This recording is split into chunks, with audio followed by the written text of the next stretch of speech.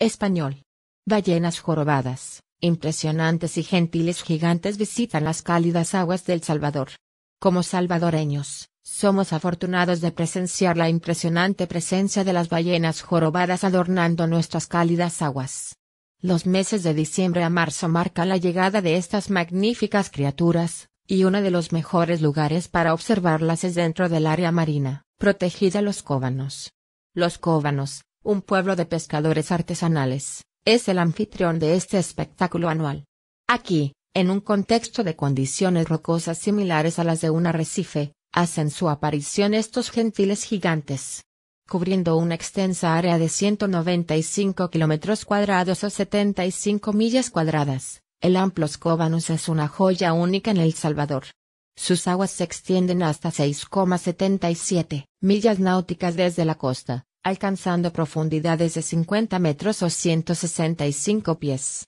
Impulsado por la pasión por el turismo sostenible y el bienestar de los pescadores locales, me embarqué en un proyecto independiente para promover la observación responsable de ballenas.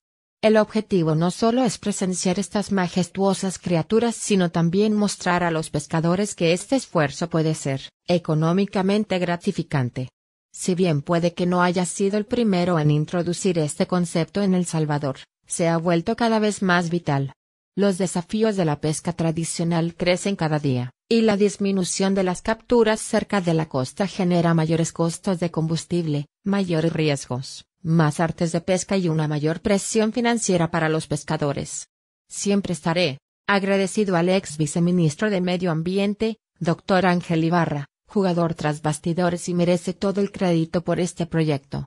Lo resumiré en una palabra, confianza.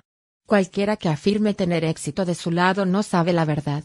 Las razones exactas por las que las ballenas jorobadas prefieren esta zona en particular siguen siendo un misterio. Si bien hay otro lugar en la parte oriental de El Salvador que puede parecer más adecuado, son las condiciones únicas del arrecife rocoso de los cóbanos las que tienen un atractivo especial para estas ballenas y sus crías. En nuestra búsqueda por desentrañar este misterio, decidimos colaborar con otros investigadores, incluido PhD.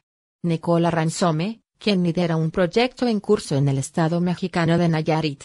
Al unir nuestros conocimientos y avistamientos, Esperamos arrojar más luz sobre la cautivadora presencia de las ballenas jorobadas en nuestras cálidas aguas.